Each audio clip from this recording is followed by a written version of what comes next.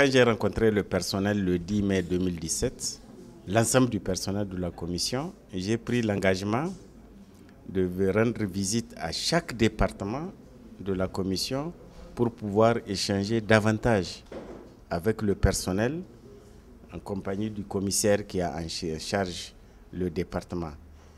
Eh bien, cette matinée, c'est cet exercice, c'est cette promesse que j'ai honorée ici au niveau du DATC, où, comme vous l'avez suivi, nous avons eu de riches débats, de riches échanges plutôt d'ailleurs, ce pas des débats en réalité, des échanges euh, nourris euh, de fondements techniques. Euh, étayé par le commissaire lui-même à travers le PowerPoint que vous avez suivi sur les objectifs du DATC, les missions du DATC, les principaux chantiers du DATC, les perspectives du département.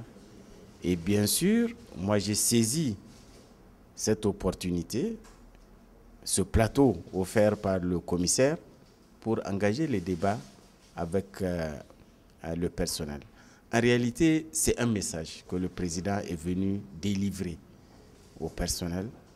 Un message qui tire sa quintessence des orientations données par la conférence des chefs d'État et de gouvernement. J'ai expliqué les raisons qui justifiaient la rationalisation des organes de l'Union.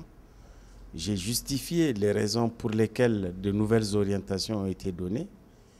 Et j'ai demandé à la fin au personnel, à l'ensemble du personnel, et en particulier cette matinée au personnel du DATC, d'insérer maintenant nos activités dans cette vision, dans ce nouveau cap fixé par les autorités, assis sur les deux piliers que j'ai encore rappelés, la parcimonie budgétaire et le respect du principe de subsidiarité. Voilà le message que j'ai délivré. Merci.